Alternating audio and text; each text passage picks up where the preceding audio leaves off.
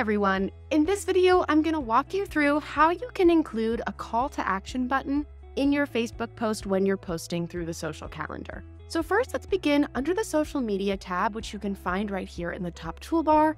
And then let's come to the publishing option here. I'm going to hide the sidebar, and now we're on our homepage of our calendar.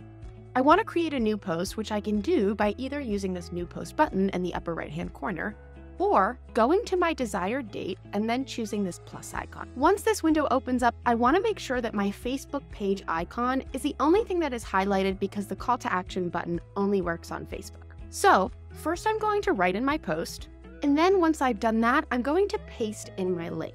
Once I've pasted in my link, below you'll see a preview of the page that I've just linked to, including the media and the content of the page. And then you'll see this button that says Add CTA. Go ahead and select that.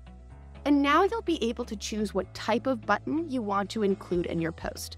So the button will either say Book Now, Buy Now, Download, Get Quote, Install App, or on the mobile, Install App, Learn More, Like Page, Listen to Music, Open Link, play game, send message, shop now, sign up, subscribe, use app, use the mobile app, watch more, and watch video. So, depending on what type of link you're including and what you're trying to guide your customer to do, you can choose from these options. I'm going to choose Learn More because this is a page with some information as well as a video. Now, all that's left to do is use this drop down to schedule my post, choose my preferred date and time, and then click Schedule.